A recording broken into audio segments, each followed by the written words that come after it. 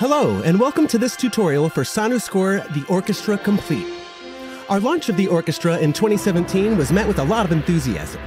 The wish for a MIDI export came up more than any other request. It immediately jumped to the very top of our to-do list for a future update. The orchestra engine is a complex piece of software.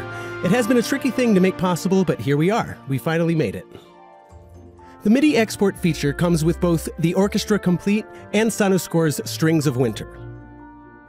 This is how it works. When you open up the instrument in your DAW, you will find a little control panel in the top right, next to the Settings button. On its own, this doesn't do a whole lot.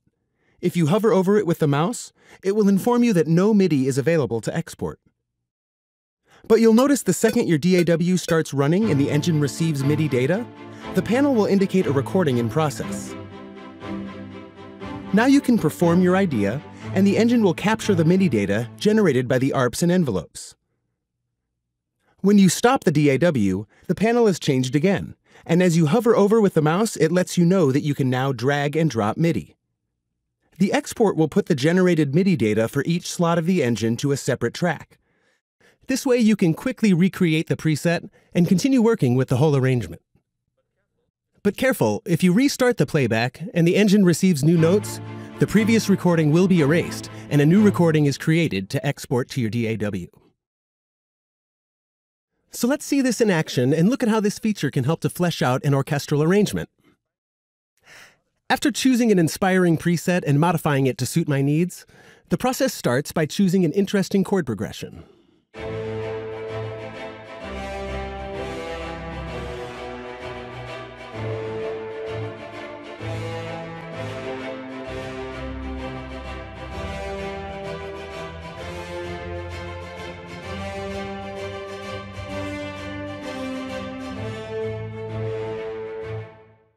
I liked that, and now I want to spread it across the whole orchestra. Now that I played and recorded this progression, the MIDI data is ready to be exported. I'll drag this onto my template featuring all key switch instruments from the Orchestra Complete. This is the blank canvas. All the songs are out of the box, by the way. Because I already liked what the preset is doing, my first step is to recreate it. So I place each exported region to the original instrument. I add in the key switches for the correct articulation as well. All right. Now it should sound about the same as my sketch in the engine.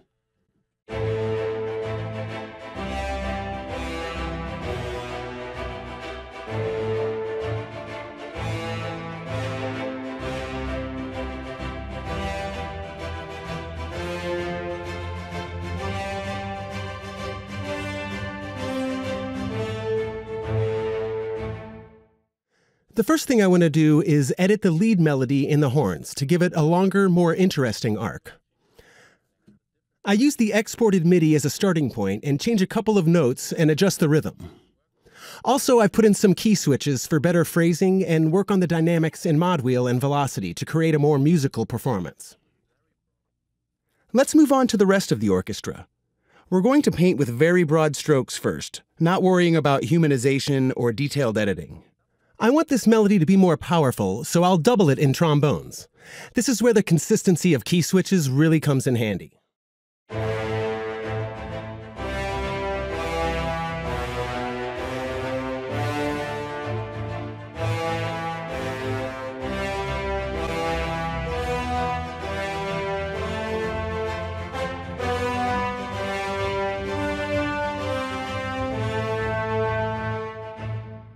To balance this out, we need to reinforce the other parts of the arrangement. I'm looking for a larger-than-life epic sound, so I will double the sul pont spiccatos in the upper strings with staccatos, and throw in the high Morin Khuur ensemble as well.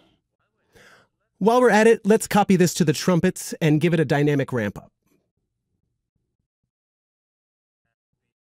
And the upper woodwinds are just sitting around, so they get the same thing as well.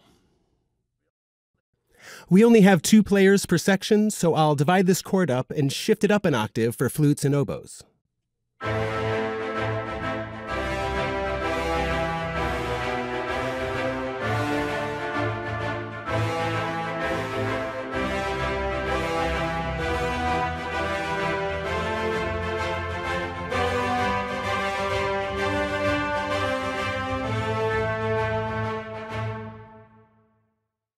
Next, we double the bass rhythm in the low brass, low Morin Khuur ensemble bassoons, and timpani.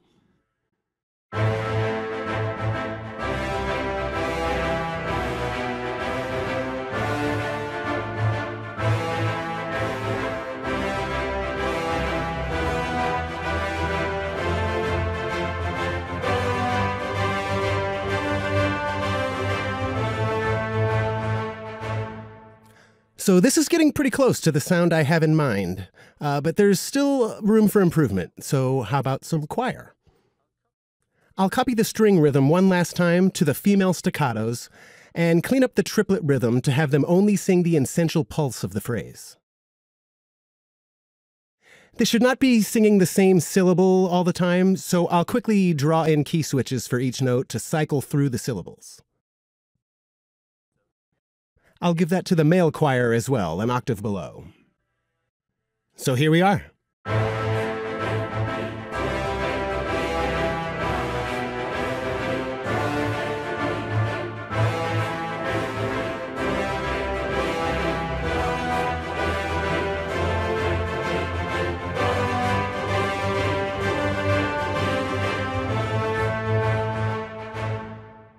Everything we hear so far has come from the performance of our animated preset, simply spread across the sections without a care in the world.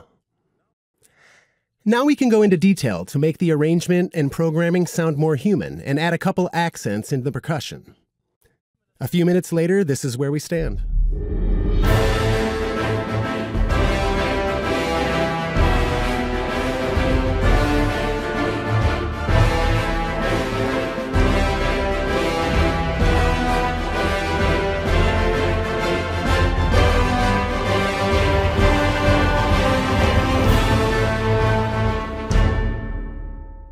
And there we have it. A complete orchestral arrangement almost entirely built out of the exported performance of an animated preset. We hope you enjoyed this video and we could give you an idea of the possibilities the new MIDI export feature holds for your compositional workflow. This has been Frank from SonuScore, and I'll see you next time.